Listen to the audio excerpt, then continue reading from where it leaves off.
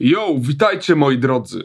Pewnie słyszeliście nieraz w internecie, że nie warto kupować płatnych pluginów, że dobry miks można zrobić również na tych darmowych, a szczególnie, że ktoś, kto potrafi zrobić dobry miks na płatnych pluginach i ma dobre umiejętności w miksie i masteringu, to na darmowych powinien umieć odtworzyć to samo i tak dalej, i tak dalej.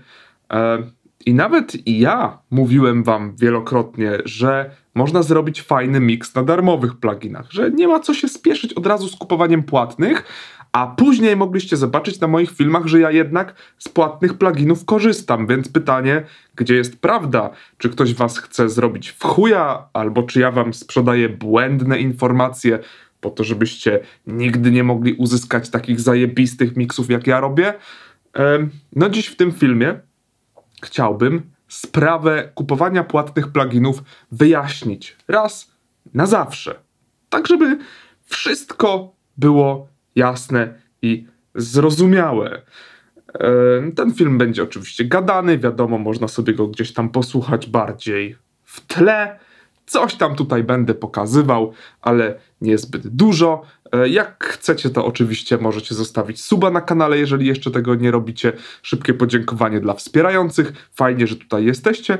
No i lecimy do tematu. Podzielę sobie go na kilka takich, nazwijmy to, małych e, rozdziałów. I pierwszym z nich będzie temat pod tytułem Dlaczego w ogóle niektórzy kupują płatne pluginy do miksu i masteringu, skoro na przykład w Reaperze mamy pełen pakiet bardzo fajnych, funkcjonalnych, wbudowanych już darmowych pluginów. Także jazda. E, w zasadzie tutaj są trzy takie początkowe argumenty, to znaczy argumenty czy tam rzeczy, które przemawiają za e, zakupem jakiegoś pluginu. Pierwszy z nich, pierwsza, pierwsza rzecz, to jest taka najbardziej banalna i to jest sprawa taka, że po prostu niektóre płatne pluginy mają fajniejszy, wygodniejszy interfejs, na którym praca jest bardziej wydajna. Mm, to proste, ale no to czasem, czasem tak jest. Dla przykładu w Reaperze jest fajny kompresor wielopasmowy, który nazywa się ReX Comp i ja długo z niego korzystałem, ale na dzień dzisiejszy wolę korzystać z ProMB od FabFiltra, który mimo tego, że z grubsza robi to samo, to po prostu mi się na nim o wiele fajniej i wygodniej pracuje.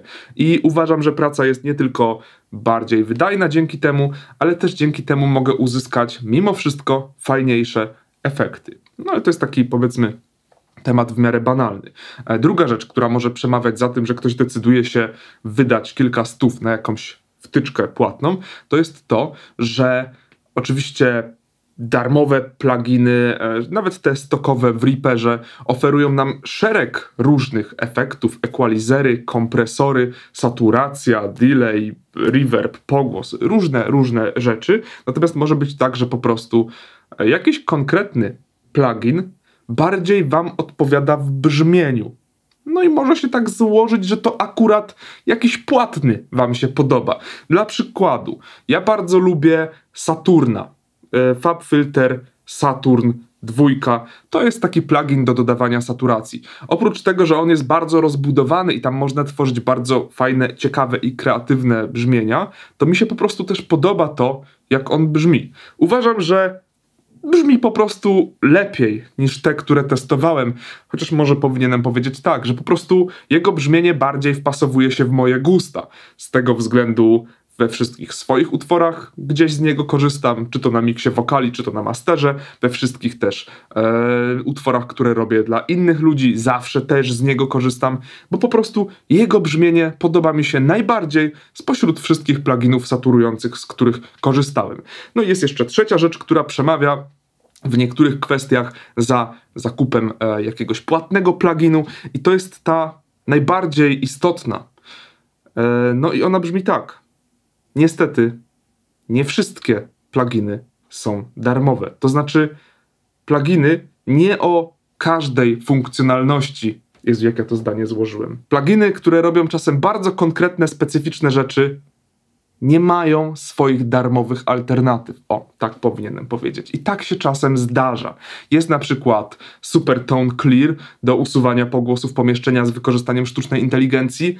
I ja nie znalazłem nigdzie darmowego, ani nawet tańszego, równie dobrego odpowiednika co Super Tone Clear. No i parę takich przykładów jest. E, natomiast tutaj trzeba zwrócić uwagę na to, że to są takie pluginy do bardzo szczegółowych zastosowań. I tu możemy sobie przejść do całego tego um, drugiego segmentu, czyli właśnie to, jakie pluginy faktycznie według mnie warto kupić, a z jakimi warto się wstrzymać z zakupem, bo można z powodzeniem sobie fajne brzmienia wyciągać z jakichś darmowych albo tańszych alternatyw. No więc tak, jakie warto kupić? Listę oczywiście ładuję z głowy. Pierwsze co, to tak jak mówiłem, Super Tone Clear do usuwania pogłosów pomieszczenia. E, druga sprawa, również taka bardziej szczegółowa i specjalistyczna, to taki, to ogólnie przychodzi w całym pakiecie od Izotopa RX11. Tam jest parę takich fajnych e, modułów, które służą specjalnie do poprawiania jakichś takich mankamentów nagrania, które na wejściu może nam się zarejestrować. E, wspominałem gdzieś w niedawnym, wcześniejszym filmiku o takim e, pluginie, który tam jest jak Declick, bo on na przykład pozwala nam usunąć takie mlaśnięcia, takie wiecie, dźwięk, że po prostu coś zaczynacie nawijać, nie? I zrobicie tak no i jakby powiedzmy oddech krzywo wejdzie, coś tam się mlaśnie, coś tam się, wiecie, strzeli ustami albo coś w tym stylu, on pozwala to usuwać. To jest takie bardzo specyficzne zastosowanie, ale nie znalazłem e, żadnego darmowego odpowiednika, który działałby tak fajnie. E, kolejną sprawą jest na przykład SUV 2 e, do kompens kompensacji pogłosów w nagraniu, czy jakichś rezonansów. To znaczy, wiecie, Czasem coś nam będzie dziwnie świszczeć przy jakiejś głosce, albo czasem może być tak, że po prostu konkretny mikrofon, taki wiecie, z niższej półki, taki powiedzmy tam do 1000, 2000 zł. Ja mam na przykład taki Rode NT1A, z którego korzystam. On jest dosyć, dosyć popularny, on jest taki, taki sobie, w sensie jest ok, ale fajnie jest jednak mu trochę pomóc i tutaj na przykład SUV 2 pozwala trochę złagodzić jego takie naturalnie szorstkie brzmienie. E, fajną alternatywą dla SUV 2 jest też Silk Vocal od e, Wavesa, w zasadzie plus minus robi to samo. Sprawia, że całe nagranie jest trochę bardziej miękkie, nie jest takie szorstkie. I kolejną, o, co mi przyszło teraz do głowy, kolejny plugin, jeszcze go nie kupiłem, ale testuję teraz wersję próbną. Jakiś czas temu ktoś polecił w komentarzu pod jednym z filmów, jakiś taki niedawno gdzieś tam wypuszczony Split S, który jest świetną alternatywą dla DSR-ów, ponieważ zamiast kompresować wysokie częstotliwości w momencie, kiedy jakieś szeleszczące głoski się pojawiają, tak jakby to robił tradycyjny DSR, to Split S pozwala rozdzielić wszystkie szeleszczące głoski od reszty słów, od reszty sylab i jednym suwakiem je po prostu przyciszyć. Mega. Kurwa, świetnie to działa. Będę go kupował, nie? Jak mi się skończy okres próbny.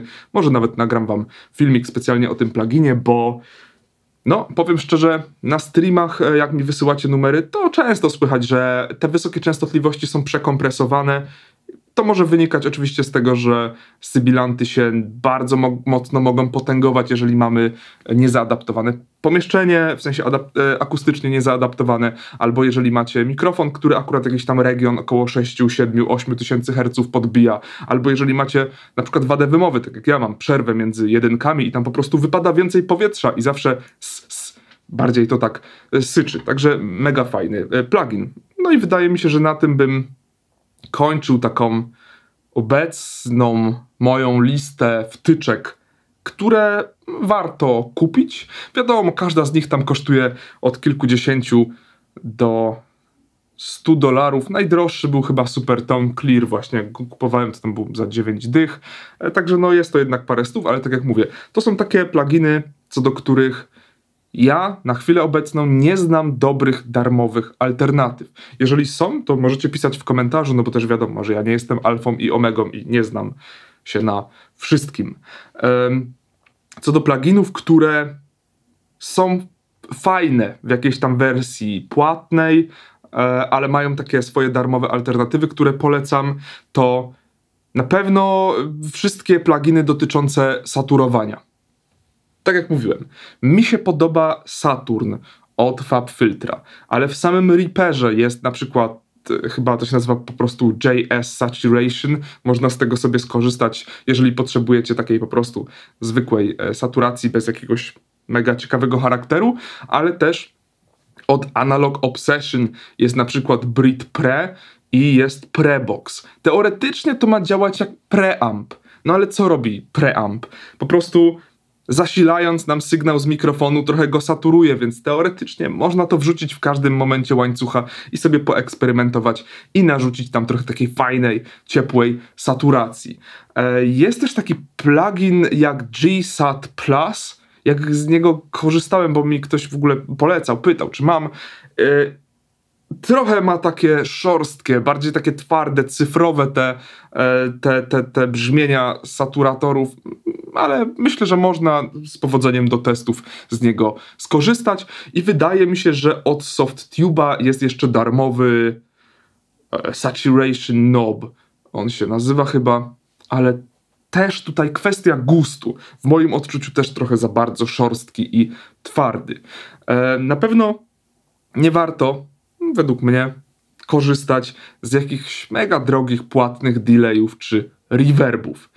No chyba, że dostaniecie jakiś tam za darmo przy okazji czegoś innego, do tego sobie dojdziemy za chwilę, ale jakbym miał, mówiąc szczerze, wyłożyć na jakiś reverb, yy, trochę by mi się, trochę by mi się to nie kalkulowało. Początkowo warto rozważyć wszystkie opcje, które macie w Reaperze. Tam reverb i kilka różnych delayów jest i one naprawdę robią bardzo mocną robotę. Przede wszystkim reverb, który jest w Reaperze jest bardzo rozbudowany. Co prawda, trzeba w nim trochę posiedzieć, żeby uzyskać naprawdę, naprawdę takie bardziej charakterystyczne, charyzmatyczne brzmienie, a nie takie, wiecie, jak po prostu brzmienie e, pogłosu z kibla, ale jest to bardzo kompleksowy i rozbudowany plugin. Redelay jest też bardzo fajnym delayem, z którego y, ja często korzystam, jak potrzebuję jakiś ping-pong wokal dorzucić gdzieś, jest naprawdę porządku. Jeżeli chciałbym polecić wam jakiś nie tyle płatny, co po prostu fajniej brzmiący niż ten stokowy reverb z Reapera, to Valhalla Supermassive, on się chyba nazywał. To jest chyba ten darmowy. Co prawda to jest delay, ale on posiada gałkę, która, czy tam pokrętło, które pozwala tak zlać ze sobą i rozmyć te kolejne powtórzenia delaya i sprawia to, że dostajemy taki płynny, długi pogłos. No dokładnie jak w reverbie. Także to na pewno jest plugin, który bym polecił, bo ja z niego korzystam w 90% swoich miksów.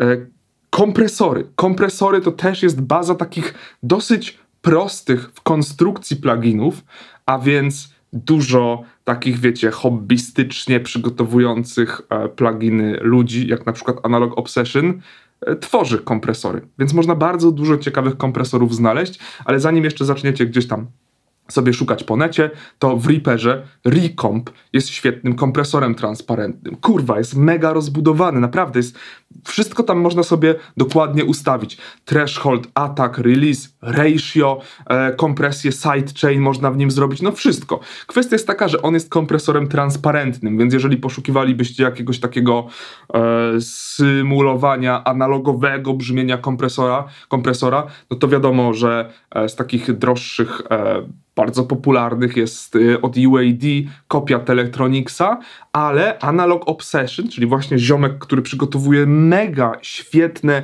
kopie droższych pluginów, e, przygotował LALA, czyli Lala. To jest kompresor, który właśnie e, symuluje działanie tego oryginału UAD Telectronicsa i radzi sobie naprawdę e, świetnie. Jeżeli chodzi o kompresor wielopasmowy, no to chociażby wspomniany na początku jak on się nazywał już, y, Rex Comp, który jest w Reaperze tak jak mówiłem, jego interfejs jest taki kurwa trochę oldschoolowy, trochę taki no nie jest taki aż wygodny, ale jeżeli chodzi o pełną funkcjonalność i to, co można w nim zrobić, to jest mega roz, rozbudowany. Naprawdę, to jest jeden z najbardziej rozbudowanych kompresorów wielopasmowych, który widziałem, więc zanim kupicie jakiś tam Pro MB, bo fajnie wygląda, to naprawdę możecie wyciągnąć no 99% tego samego z ReX Compa. Jeżeli chodzi o więcej rzeczy na master, to jest Initial Clip.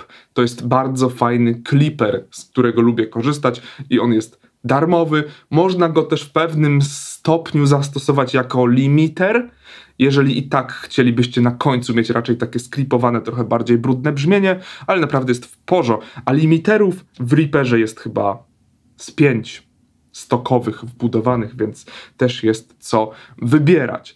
Um, jeżeli chodzi o equalizery, to ja lubię korzystać z Pro Q trójki, ponieważ on e, jest po prostu bardzo rozbudowany. No i fajnie wygląda, w sensie takim, że po prostu wygodnie mi się korzysta z tego interfejsu, aczkolwiek e, w pewnym stopniu wiele tych zastosowań możecie znaleźć w takim darmowym equalizerze dynamicznym jak TDR Nova. Wydaje mi się, że jedyne czego mu brakuje względem ProQ, oprócz wygodnego interfejsu, no bo powiedzmy sobie szczerze, ten TDR Nowa ma kurwa fatalny ten interfejs, jest ohydny, źle się na tym pracuje, no ale może to kwestia mojego jakiegoś tam usposobienia, ale to czego faktycznie nie ma w nim, a jest w ProQ, to są e, funkcje korekcji mid, side, lewo, prawo, to znaczy w nim możecie tylko globalnie w stereo sobie edytować jakieś tam parametry, a nie możecie zrobić tak, żeby inaczej działał kanał jeden, a inaczej kanał drugi. Ale jak za darmo, to daje i tak naprawdę bardzo dużo. Wydaje mi się, że to w tym temacie wszystko, co miałem Wam polecić. No, no chyba tak. I teraz kwestia oczywiście kupowania tego. Czemu to kosztuje tak dużo? Czy nie lepiej może sobie z jakiejś podejrzanej rosyjskiej strony ściągnąć jakiegoś pirata? No, najpierw kwestia piratów.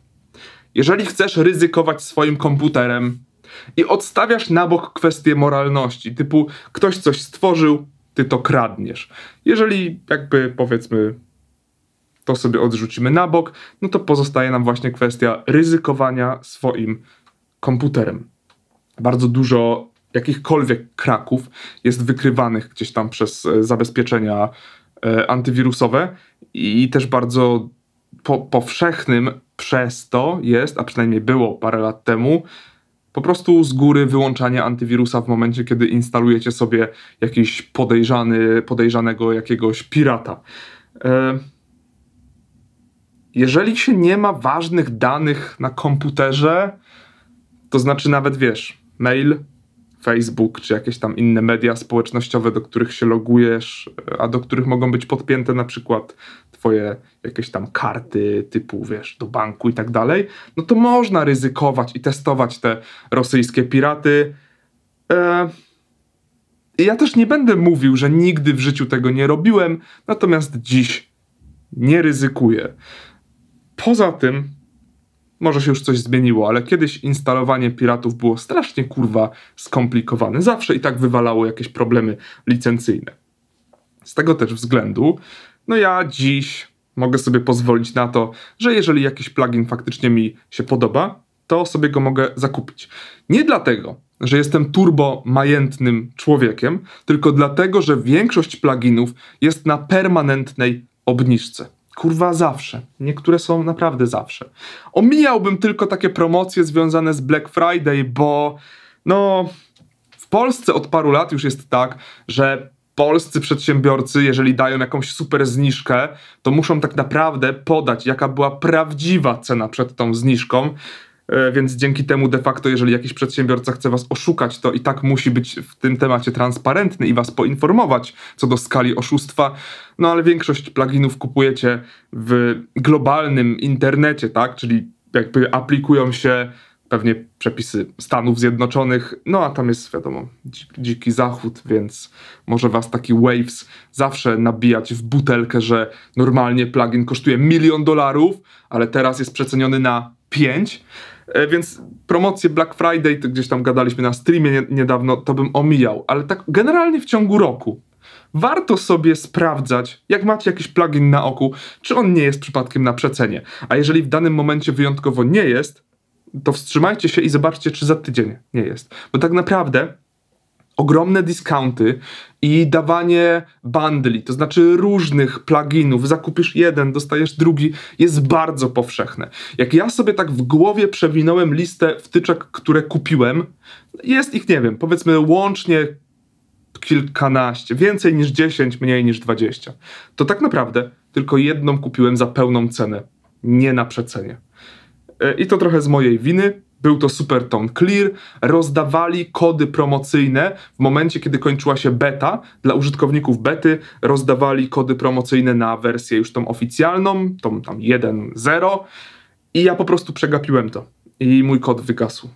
E, więc dzięki, no przez to kupiłem za pełną cenę, ale już ostatnio, jak robiłem jakiś filmik, e, gdzie pokazywałem wam takie właśnie fajne pluginy do, do tego, żeby poprawić jakość słabego nagrania, to tam gdzieś sprawdziłem przy okazji, ile on kosztuje i on już wtedy był znowu na przecenie. Także w większości przypadków to tak naprawdę pluginy, których bazowa cena to może być tam 100 dolarów, 200 dolarów, czyli wiecie, kurwa, 1000 złotych, to można wyhaczyć naprawdę za jedną trzecią tej ceny. Waves tutaj jest i zawsze będzie według mnie sztandarowym przykładem tego, że wszystkie te pluginy są na wiecznej promocji. No i jak sobie pomyślicie, że taki naprawdę przydatny jakiś plugin, e, no jakikolwiek już, jakby którykolwiek z tych, wy, które wymieniłem, można złapać e, tak naprawdę za taką realną cenę oscylującą wokół 100 zł, no to jest do rozważenia. To jest do rozważenia, szczególnie, że te wtyczki, które wymieniłem wam, e, one potrafią naprawdę pomóc w takich przypadkach, co do których rozwiązanie problemu u źródła byłoby bardziej kosztowne.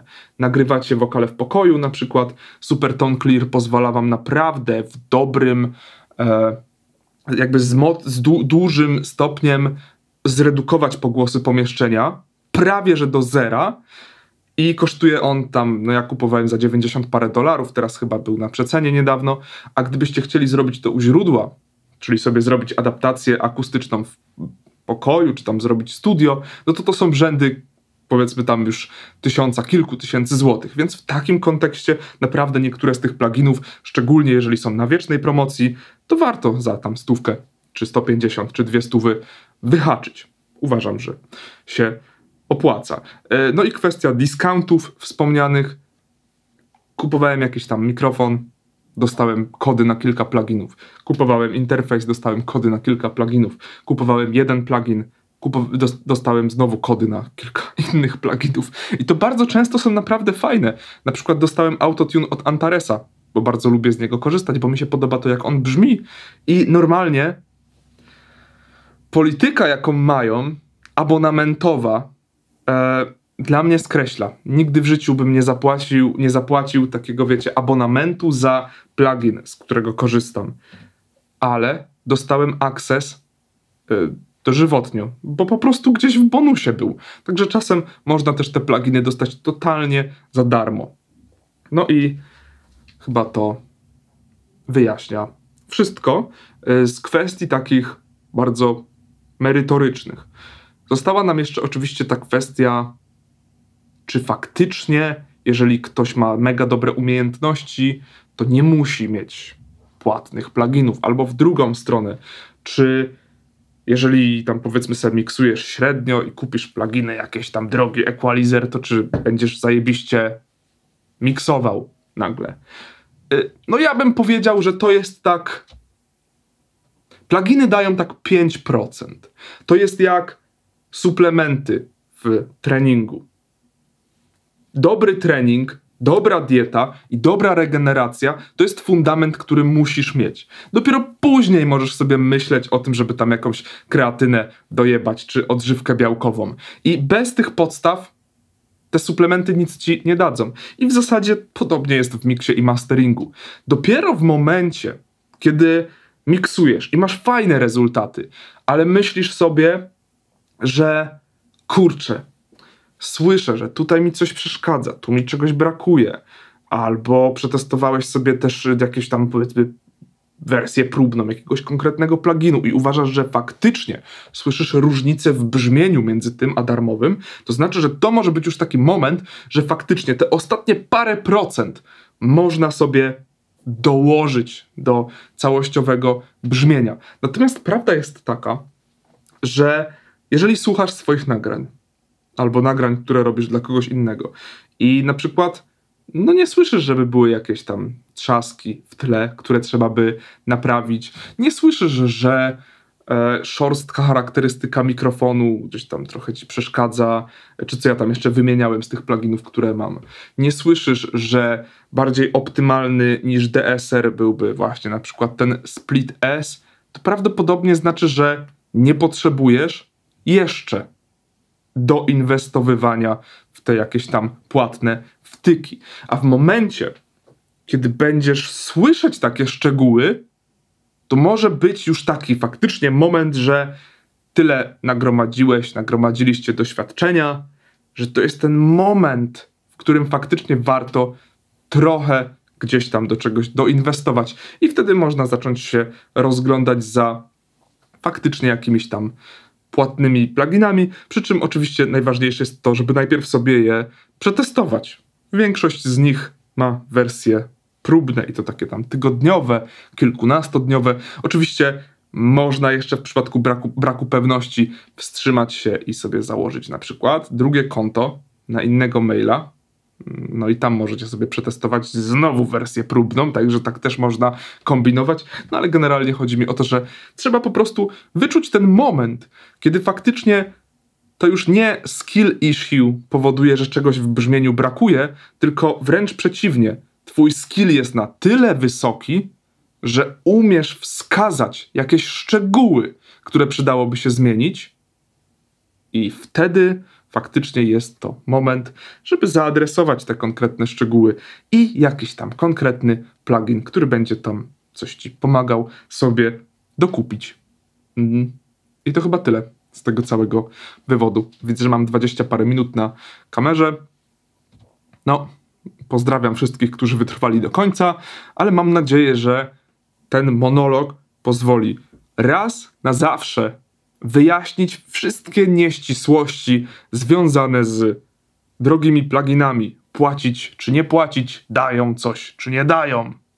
Oczywiście możecie swoimi przemyśleniami dzielić się też w komentarzu.